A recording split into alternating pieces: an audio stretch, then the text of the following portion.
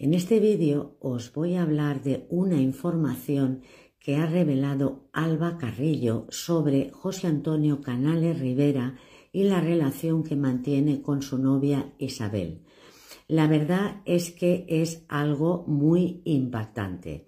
Pero antes de explicaros en qué consiste, os invito a que os suscribáis al canal de YouTube. Bueno, eh, lo que Alba ha dicho es que José Antonio está con su novia por un tema económico porque se trata de una familia muy pudiente y que le habría ayudado en momentos bastante complicados para él.